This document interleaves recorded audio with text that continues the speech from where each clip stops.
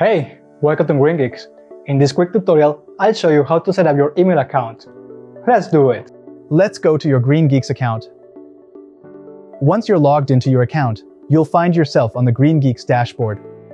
From here, click the Manage button next to your hosting service to open the Hosting Management panel. In the second tab, look for Email and click on it to reveal the drop-down menu, and then select Accounts. On this page, you can create your desired email address and set a secure password. Make sure to check the Send a Welcome Email option to receive configuration instructions for third-party apps like Outlook or Thunderbird. Once everything is ready, click the Create button. Your new email will now appear under the Email Account section. To access your email, click the three dots under Actions and select Webmail Access. This will take you to Webmail.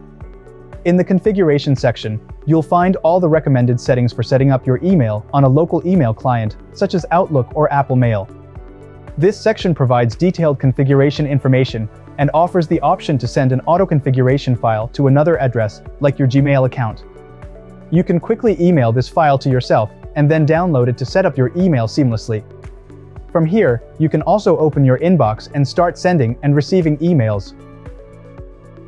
And that's it, your email is ready. I hope you found this video helpful, don't forget to like and subscribe, and see you in the next video.